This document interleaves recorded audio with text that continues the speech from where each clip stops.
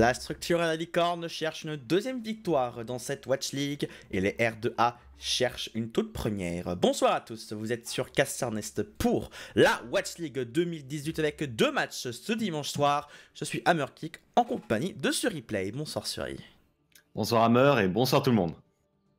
Un plaisir évidemment de vous retransmettre cette compétition, une ligue francophone avec différentes équipes jouant en France évidemment. Les Manticores que vous connaissez déjà, deux équipes Orcs. On verra la line-up féminine tout à l'heure à 22h et on aura du coup les Manticores que je viens de mentionner du coup qui fait partie des favoris de la Watch League qui vont affronter les R2A. R2A qui sont pour l'instant à 0-1 mon cher sur replay, qui sont quand même contre un adversaire de taille. Et oui, un adversaire de taille, les R2A, qui est une équipe eh bien, euh, avec une solide base, une base qui se connaît. Nous avons Dest, Scare et Diarkos qui étaient déjà là présents lors des dernières itérations de la Watch League et qui ont été rejoints par d'autres membres pour mhm. poursuivre justement sous cette bannière R2A.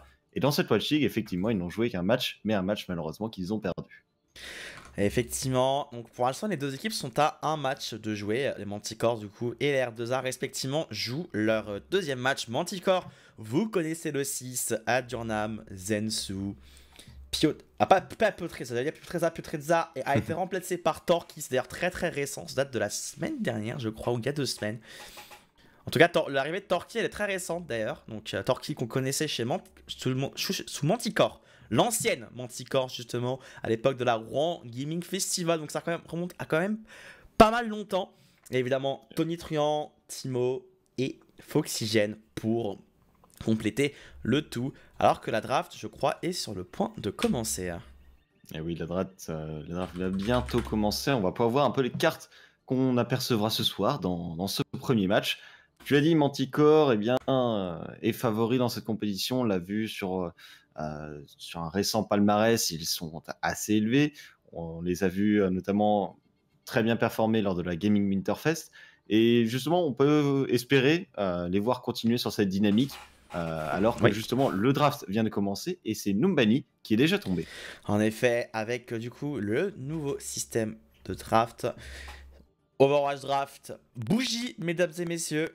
On est sur de la nouvelle technologie. Numbani, effectivement, qui va sortir dès le départ ainsi que euh, je crois que c'est Junkerton qui est sorti, si je fais pas d'erreur.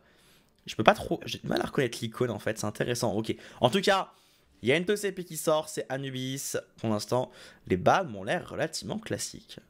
Ah oui, et nous avons également vu Colonie Lunaire Horizon qui est parti. Dire au revoir, nous n'irons pas du côté de la Lune ce soir.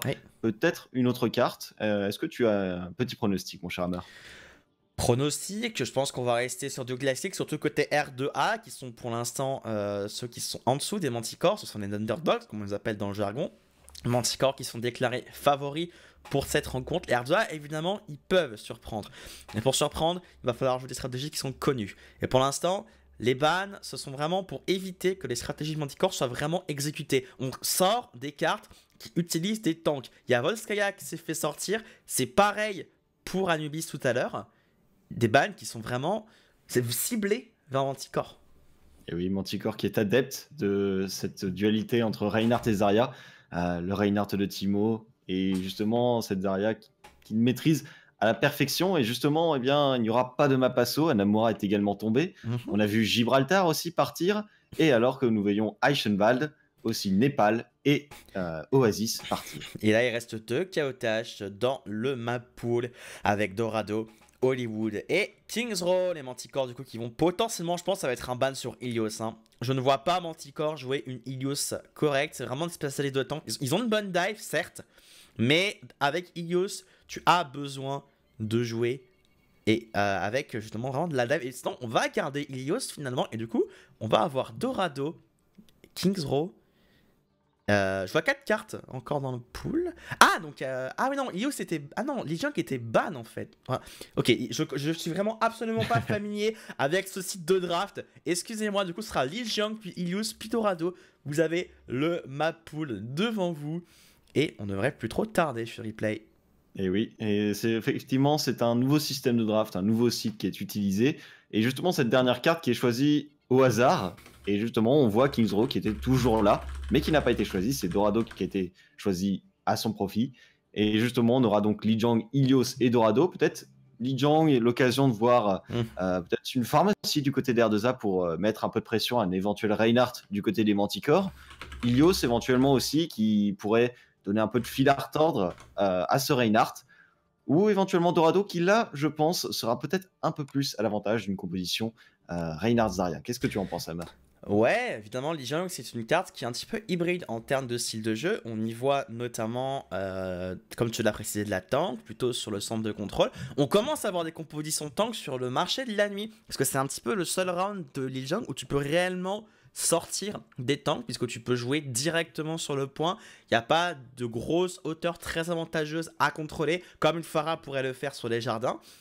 Et vraiment, la stratégie de jouer sur le point, elle aura fonctionné pour certaines équipes et je pense qu'elle peut fonctionner pour les Manticores. Effectivement, elle pourrait, très très bien fonctionner. C'est vrai qu'avec ce, cette limitation qu'il y a à éventuellement des héros aériens et justement avoir un, close quarter assez serré, ça favorise euh, justement ces tanks, ce- cette composition tank. On pourrait voir éventuellement aussi des, euh, faucheurs apparaître euh, pour aller contrecarrer un peu ses plans. Mais on va commencer avec Li Jiang sur centre de contrôle et tout de suite on commence à voir des premiers pics qui, je pense, ne res- resteront pas. Euh, on est encore euh, dans l'assemblage des héros avant d'arriver eh bien, dans la partie de sélection des compositions. En effet, et la est sortie côté Diarkos à Durnham sur la Moira. Aucune vraie surprise pour l'instant au niveau des pics. On va partir, je pense, sur une triple classique. D'ailleurs, je ne serais même pas étonné de voir un Doomfist côté Manticore Foxygen, connu chez les pour être un joueur de Doomfist. Et pour l'instant, il est sur la. À mon avis, ce ne sera pas son choix. Côté R2A, on part sur une compo triple tank classique avec Nimpo sur un chacal. On va directement jouer cette petite hauteur et faire des carnages avec des grenades. Et Eh oui, je pense peut-être que Foxygen pourrait éventuellement rester sur Hanzo. Certes, ce n'est pas le, pic par excellence pour lequel on le connaît, mais on a vu énormément de Enzo ces derniers temps venir euh, bien justement causer des soucis à des compositions tank, que ce soit triple, voire quadruple tank. On utilisait le Hanzo pour briser le shield et passer outre eh bien, cette euh, solidité défensive.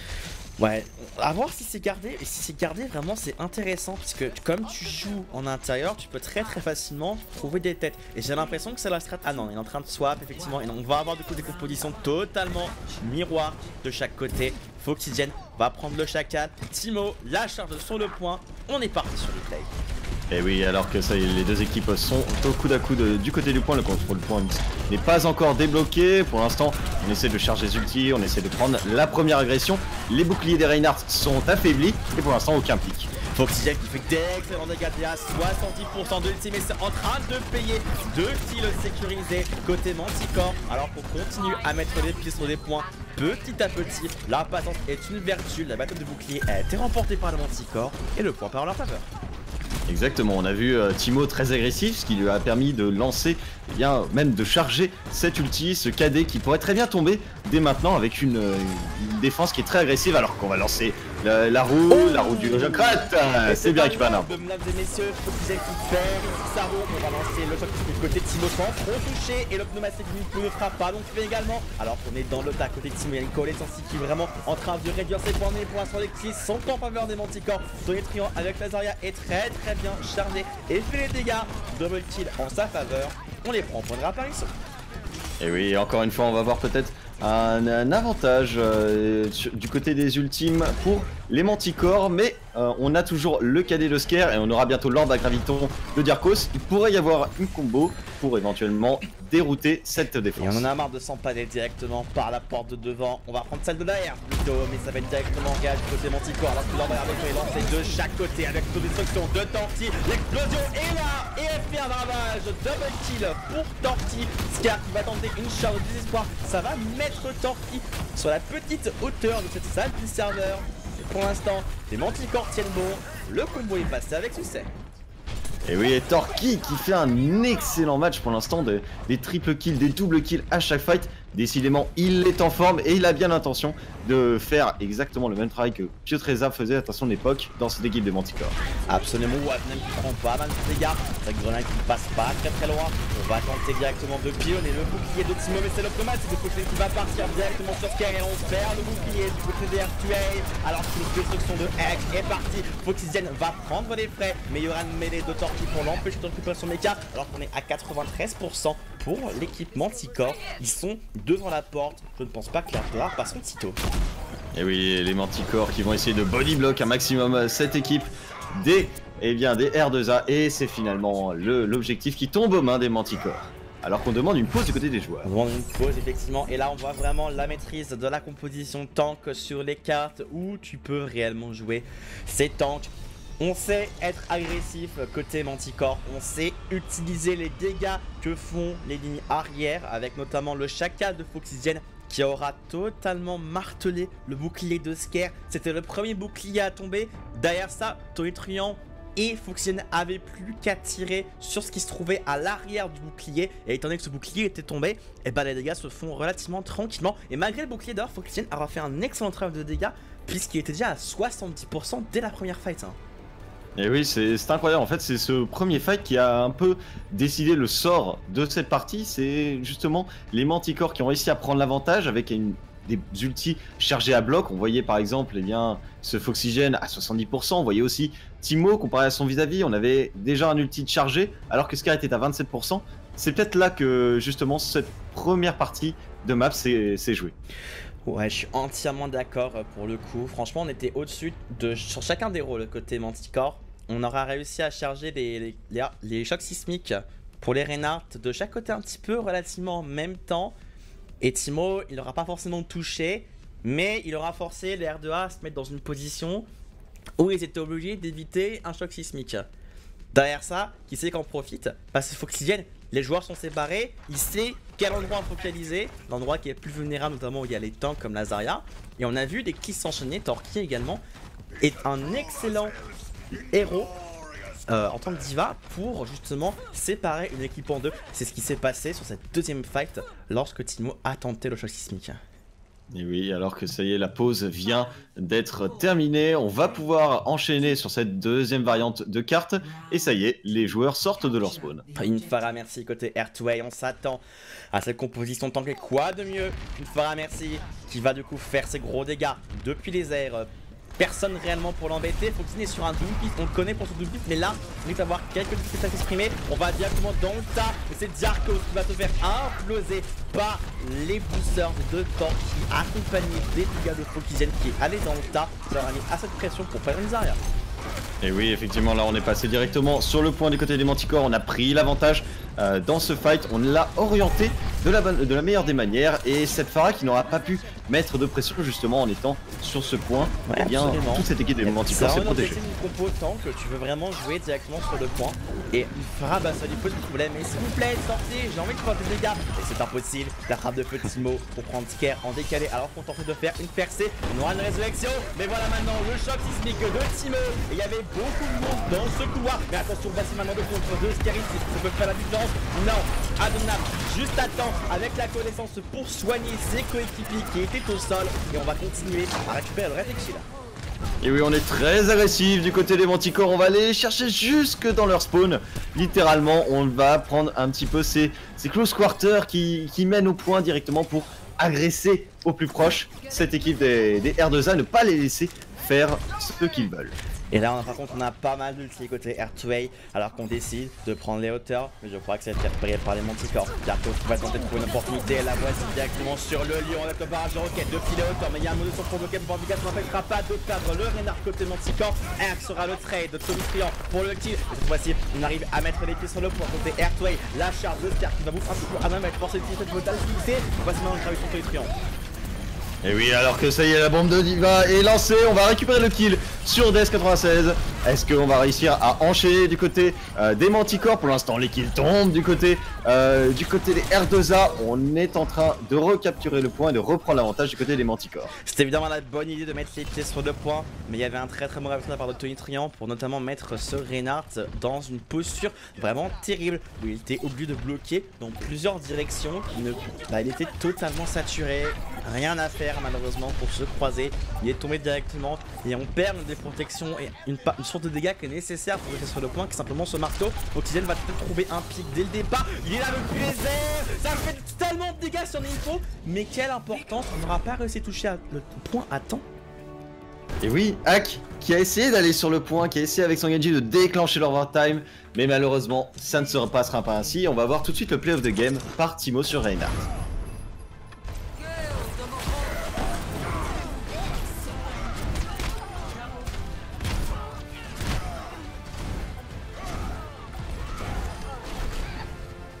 Le sophistique de fin, évidemment. J'avais parlé du fait qu'il ne passerait pas, mais quand tu as un Reinhardt qui t'empêche encore plus de passer en mettant tout le monde au sol, pas de souci. Ah oui, et eh oui, ça, ça fait beaucoup de mal. Le, cadet qui a réussi à prendre trois mhm. personnes, c'était justement un petit peu dans la lignée de ce qui était en train de se passer. On avait euh, les ultis qui commençaient à être lancés, et eh bien Timo a décidé, il a vu la, toute la backline ouverte, mhm. et il s'est dit c'est parti, c'est mon moment, je vais aller mettre quelques coups de marteau. Eh, absolument. Et Timo qui arrive à charger, si je explique relativement rapidement. Hein. Je sais pas si tu as remarqué, sur ces deux rounds notamment, il l'avait après une ou deux fights. Euh, et, c'est vraiment euh, ce qui fait la force des Manticore quand ils jouent cette composition tank, c'est qu'ils ont un Reinhardt très agressif et ils vont jouer autour. Adurnam va lâcher l'orbe de soin en sa direction, ainsi que son spray. Adonam du coup en même temps charge une coalescence puisque Timo va quand même tanker pas mal de dégâts ce qui est normal pour un Reinhardt. Et comme Timo est la focalisation principale des R2A qui sait derrière qu'en profite bah Lazarette ton étruant et le chacal de Foxygen comme on a pu voir sur le premier round. Et oui effectivement on a, justement cette, euh, cette stratégie manticore que tu décris très bien qui fonctionne énormément. Les R2A je pense qu'ils s'y attendaient à cette, à cette composition mais même si on s'y attend, c'est parfois difficile euh, d'agresser et de véritablement trouver des contres à une telle stratégie qui est maîtrisée euh, depuis très longtemps par les Manticores. On les a mhm. déjà vus jouer ce, genre de composition déjà quand ils étaient Roqueto Puncho. On les, ils ont perpétué ça avec, les, avec le, passage sous Manticore et même justement avec cette nouvelle personne, ce nouveau joueur dans l'équipe qui est Torquay, eh bien ça fonctionne toujours. C'est ça, Torquay en fait qui a été... D'habitude c'est un, plutôt un hitscan. À l'époque des Manticores euh, de 2017, on le voyait en tant que hitscan sur des soldats, sur des tracers. C'est Tony Trion plutôt qui a ce rôle pour Manticore, donc c'est un peu une reconversion pour le joueur qui passe au temps. Et comme tu le dis, ça passe plutôt bien.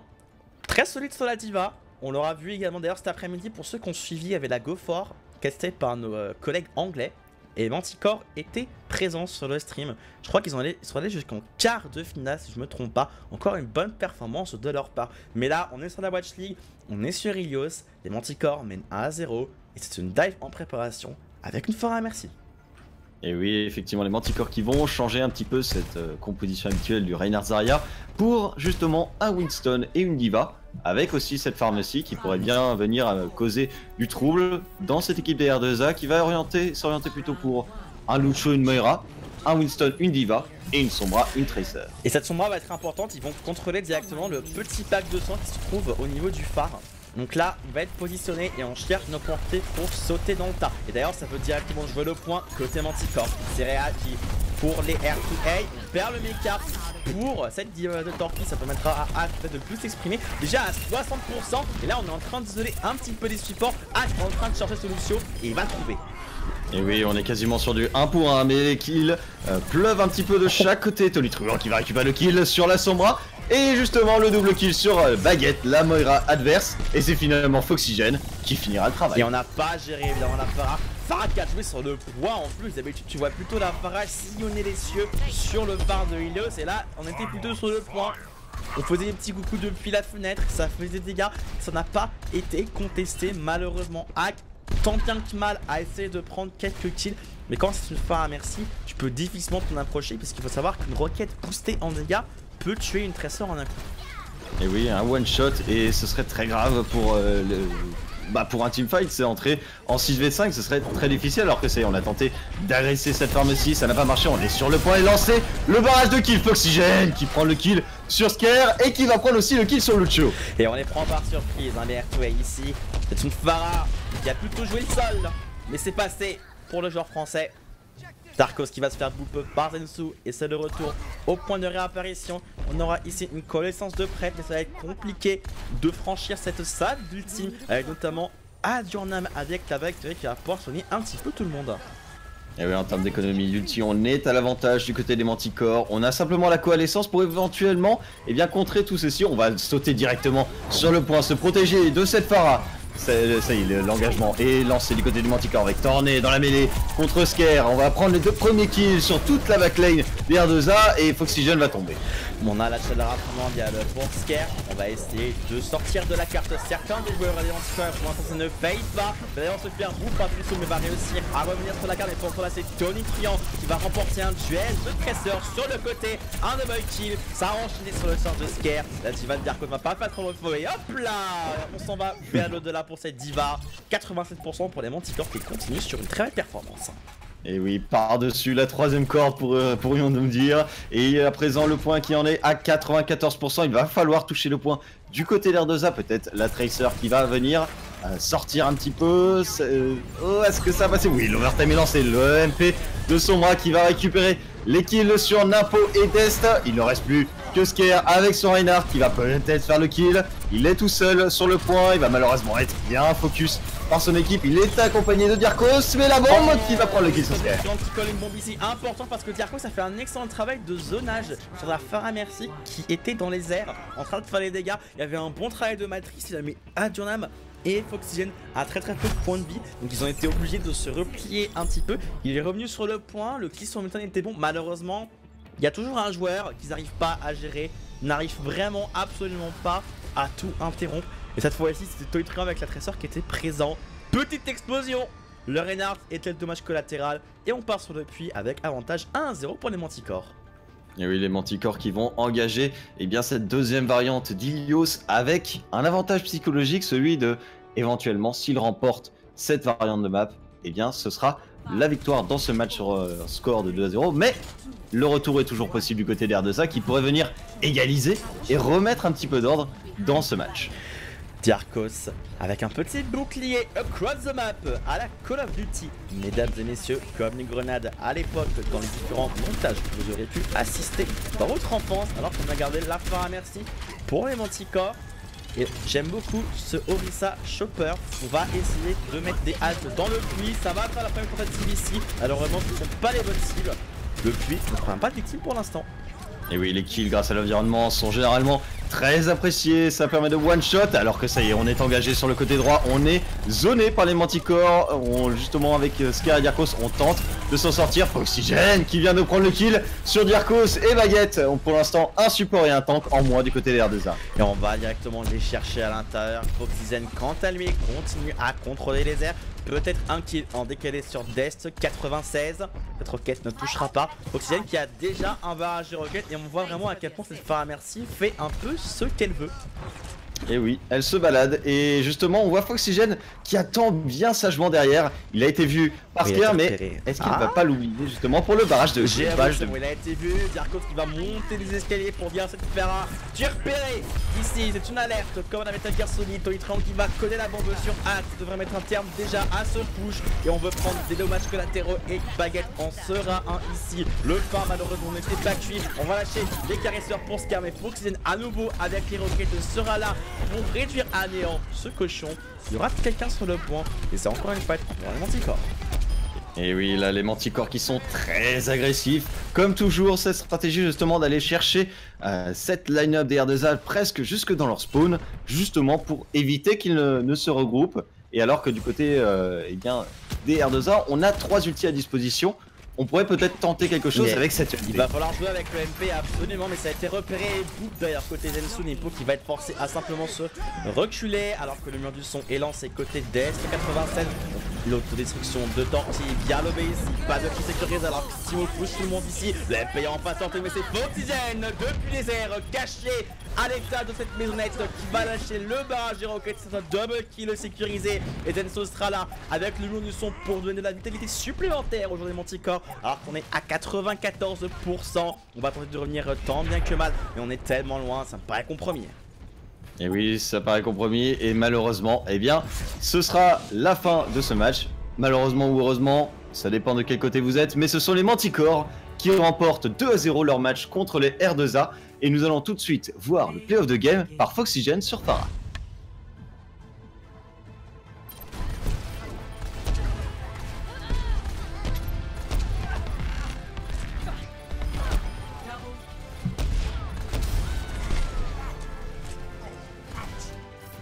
Une phare intérieure, hein, mesdames et messieurs. Alors que. pas quelque chose qu'on voit souvent, en effet, hein, pour le coup. Alors qu'on nous demande les MVP pour euh, justement cette partie, j'aurais tendance à partir sur euh, Foxygen ou Timo. Ouais, et je suis dans le même cas. Pour le coup, ça va être difficile parce que pour moi, c'est Timo qui a vraiment eu la grosse performance sur les Jiang. Et là, c'est Foxygen plutôt. Donc, Foxygen, je part... En fait, si je partirais sur Foxygen, c'est pour ça fera merci vraiment incontesté tout le long en fait. Et qui a réussi à vraiment garder les airs et à jamais être réellement en danger. Effectivement, c'est assez intéressant peut-être de le questionner sur cette stratégie de Farah qui est en intérieur littéralement. Et est-ce que du côté des R2A, tu vois quelqu'un se dessiner? Plutôt hack. Pour le coup, euh, sa tresseur m'a pas mal impressionné sur Ilios. J'ai beaucoup aimé un petit peu. il, y a eu, quand même de bonnes tentatives et de bons plays de sa part. C'était pas forcément tout le temps suivi. Mais euh, Hack sur la tresseur est pour moi le petit talent qui s'est révélé aujourd'hui. Effectivement, QH euh, qui peut justement fait beaucoup de travail sur, euh, sur cette racer. On va justement un peu le questionner sur eh bien, son ressenti de la game. alors que je vois qu'un joueur des Manticores vient de quitter le lobby. Est-ce que c'était Foxygen? Non, ce n'est pas Foxygen. On va recevoir les joueurs et on reçoit déjà Hack. Eh, bonsoir, Hack. Bonsoir, Hack. Salut. Bienvenue à toi. Bon, malheureusement, ce fut un petit peu bref, mais j'ai beaucoup aimé tes plays. J'ai beaucoup aimé tes plays pour le coup, sur ta tresse, notamment sur Ilios. T'auras réussi à mettre pas mal de pression, ce qui fait plutôt plaisir. On va attendre l'arrivée de Foxygen, côté Manticore, qui est le MVP pour l'équipe à la licorne. On n'a plus qu'à l'attendre. Je vois Storm dans le local, vocal également, qui va le faire venir. Et le voici. Bonsoir Foxygen. Bonsoir. Bonsoir Foxygen. Alors on va du coup commencer. Foxygen, comment t'es-tu senti enfin à merci sur ce match? Euh... Ça va, c'était correct. Euh, je, pense que je peux mieux faire, mais euh, ça va, la perf était correcte. Ok, parce que pour le coup, euh, vous avez réussi, euh, vous et Adjonam, à euh, être très très peu en danger finalement. Est-ce que tu as quelque chose à expliquer? Est-ce que ça vient du style de jeu Manticore plutôt? Ou euh, plutôt la synergie entre toi et Adjonam? Alors, euh, moi, moi, personnellement, je trouve que Adurnam ne reste pas assez avec moi, mais c'est ah. un, avis personnel. Sinon, j'ai, j'ai, euh, j'ai énormément travaillé mes, mes mouvements avec Farah et mes rotations de CD par mhm. rapport au positionnement ennemi. Et du coup, je pense que je, pense que mon, mon positionnement était plutôt bon de manière générale. après après, ouais, on, a des stratégies qui font que, euh, que bah, je suis de base euh, pas euh, trop en danger, mhm. normalement, avec la pression de, qu'exercent mes coéquipiers sur l'ennemi. Ouais. sinon, voilà. Très bien. Sur il y a quelque chose à ajouter, notamment pour Foxien. Et je vais te laisser commencer pour Hack d'ailleurs. Et oui, bah, je te remercie de, de me donner cette opportunité parce que justement, on a vu, eh bien, comme tu disais, Foxygen, on a vu eh bien, cette diva qui n'arrivait pas à venir t'atteindre, qui, a essayé parfois de, venir t'embêter, mais directement, eh il y avait ton équipe derrière qui, venait empêcher cette, euh, cette agression. Est-ce que justement, euh, quand tu es avec Farah, quand tu vas à l'intérieur sur ce point, on, te voyait très présent dans un close quarter. Est-ce qu'il n'y a pas un moment où tu dis, oula, est-ce que je suis pas en train d'aller trop loin? Mmh. Non, parce que généralement, si je rentre, ça veut dire que le que le que le risque est mesuré, on va dire. Euh, du coup, euh, normalement, je suis pas censé mourir. En plus, si je rentre, ça veut dire que j'ai toujours mon blast pour sortir d'une fenêtre, donc euh, je peux me repositionner facilement. Donc, euh, donc voilà. Après, après bon, la diva quand même m'a eu une fois, une fois de Mhm. trop, parce que mon, mon healer n'était pas avec moi. C'était super, j'ai adoré. Moi, je voilà. Eh bien, je pense que le message est passé. Ah, on va se tourner à présent euh, du côté euh, d'Ac et peut-être Hammer, je vais te laisser poser la première question parce que tu m'as dit en justement juste avant qu'ils arrivent que tu étais très fan de cette Tracer. Ah oui, j'ai beaucoup aimé. Hack qui a été un petit peu euh, le moustique qui s'éloignait de son équipe et qui tentait de mettre un maximum de pression. Airtway, ils ont essayé de jouer autour, malheureusement, ça n'a pas forcément fonctionné. Mon cher Hack, sur ta Tracer, j'ai posé la même question que fonctionner. Comment tu t'es senti finalement dans la game en tant que Tracer Euh, c'était franchement compliqué. Euh, déjà, euh, c'était Tony, c'est ça, je, je crois? Tony Truant, oui, la Tracer, si tu veux. Euh, était pas, pas, pas mauvais sur Tracer. Euh, Mhm. À part essayer de le rencontrer lui, passer dans la backline, euh, Oui. il essayait d'essayer de me counter, donc c'était vraiment, vraiment compliqué d'a- d'aller chercher un pic. Et je Mhm. me suis pas du tout senti à l'aise, quoi. J'étais. J'étais, comment on va dire, Ouais, dérangé par, d'accord. comme tu dis, un moustique. Ouais, c'est plutôt toi en fait, le moustique hein, dont je parle. Parce que sur le phare de Helios, sur la première fight, t'as réussi à isoler Zensu directement. Et ce- c'est ce genre d'isolation avec ta traceur qui peuvent donner l'avantage à une équipe en fait.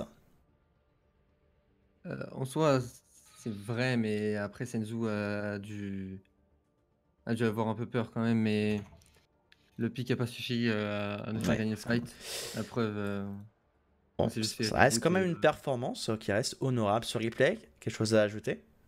Eh bien, justement, je vais, te poser la question, Hack. Est-ce que ça a été. Enfin, tu t'es senti un peu mieux quand tu es passé sur Soldat vers la fin d'Ilios Est-ce que ça. Tu t'es senti un peu plus libre de, de tes mouvements ou c'était encore un peu difficile? Ah, c'était pire même. Ah Je le sentais pas du tout. euh, Enfin, je j'arrivais pas du tout à jouer. Ah, c'est c'est vrai que les, ils ont mis quand même beaucoup de, beaucoup de pression sémanticore. On va vous souhaiter eh bien, un grand bravo à vous deux, sauf si Hammer, tu as encore une question pour l'un Non, des deux moi j'ai fait le tour. J'ai fait le tour. Bah, merci. Et euh, du coup, bah, merci pour ce match, c'est très intéressant. Donc, euh, on souhaite bonne chance évidemment pour la suite. Nous sur replay, on se retrouve dans, euh, je pense, une demi-heure. Alors, vous, vous êtes en VOD, du coup. Dans une demi-heure, on va prendre le stream sur Caster Nest pour les Orcs Nemesis contre les Noetic Squad. Ça va être un match assez intéressant entre deux équipes de niveau à peu près similaires sur replay. Quelque chose à ajouter? Eh bien, je remercie beaucoup euh, Hack et Fuxygen qui sont venus évidemment. parler avec nous. Encore bravo à vous deux. Et euh, eh bien, je, je vais en profiter aussi pour euh, remercier les sponsors de la Watch League, Mhm. Overturn, le Discord euh, communautaire Overwatch, mais aussi la Geek Touch qui Oui. accueillera notamment les finales de la Watch League. C'est ça, absolument. On les remercie du coup pour leur participation à cet événement et leur contribution. On se retrouve pour la suite de Watch League dans pas longtemps. À tout de suite. À tout de suite.